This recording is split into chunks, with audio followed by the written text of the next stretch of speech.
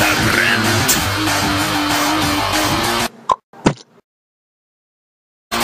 Ich ein Licht in mein Gesicht, ein heißer Schrei.